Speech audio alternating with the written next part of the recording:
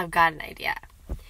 So, was watching a really good bunch of videos on economy, money, um, crypto, and decided all these people have these book clubs, but I want to have a YouTube video club so that I'll send you guys some videos for YouTube to watch every week, and then we'll discuss them on the webinars. One of the two webinars a week, right?